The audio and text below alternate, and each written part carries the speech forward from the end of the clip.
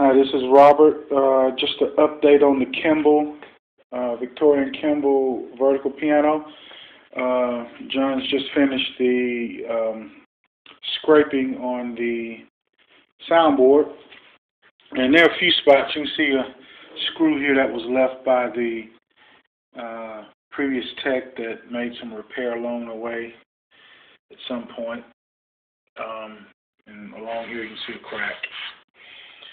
And uh, there'll be a few spots. We'll shoot another video as we get get into the structural repair here. But there are a few spots. Next thing we want to do on this is is actually um, dry the board out. So we'll we'll get some lights under it. And you can check some of the other videos I've posted. You see that procedure, but it'll be basically the same procedure. And I'll probably shoot a quick video just to show that setup. I'm going to do a little bit of cleaning along here. I'm going to do some hand sanding here in a few minutes. To take care of that.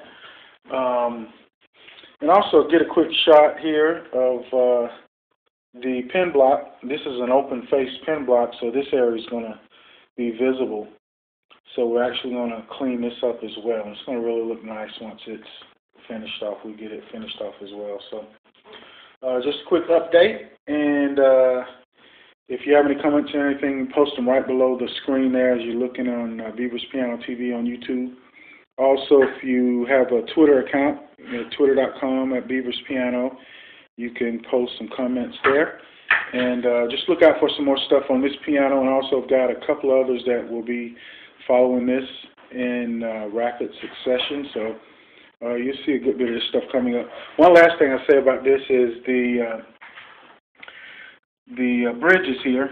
They they are in good shape. Uh, I'm going to do a little bit of cleaning on those, and besides that, a little bit of uh, structural work on the board where we have some cracks. That'll be it on this. We'll get that plate back in, and uh, it'll be ready to get some strings on. So keep an eye out and uh, follow along, and you'll see this one uh, have a little transformation. Thanks.